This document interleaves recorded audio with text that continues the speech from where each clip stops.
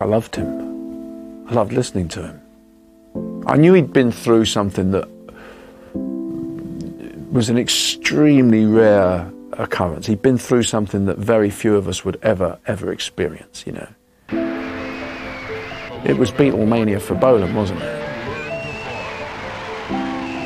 It's fantastic when you meet your heroes and they turn out to be good people. You don't uh, forget someone like Marc. And uh, yeah, I was very proud to have been his pal. Marc came out posing. He was born a star. You have to see that.